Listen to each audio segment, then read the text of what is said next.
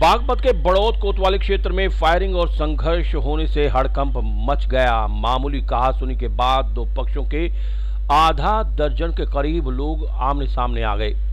संघर्ष फायरिंग में गोली लगने से एक युवक घायल हो गया, जबकि मारपीट में कई लोग घायल बताए जा रहे हैं। गोली लगने से घायल युवक को एक निजी अस्पताल में भर्ती करवाया, जहाँ उसका इलाज चल रहा है। मौके पर पहुँची पुलिस ने घायलों से पूछताछ की।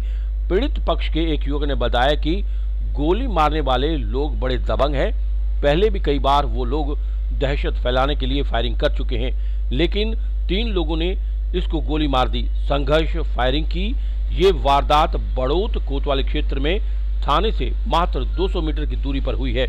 बागपत से रूप कंवर गहलावत की रिपोर्ट। पहले बोलचाल हुई ठीक है, इन्होंने केस कर दिया था। पहले भी ये बदमाश आदमी है, ठीक है। पहले भी गोली गाली चलाई थी इन्होंने। बड़े छोटो के के बड़े छोटो के के फैसला हो गया था ठीक है? अब फिर ये जा रहा था हड्डी था इसके दोनों लमडे थे एक पिम्मन का था। तीनों ने इसके गोली मारी ठीक है? बस यो है मेन बात। कितने राउंड फायरिंग हुई वहाँ? दो तीन तीन तीन गोली चली होंगी एक एक इसके लगी तिड़क के। और भी घायल है कोई? नहीं और कोई घायल नहीं है।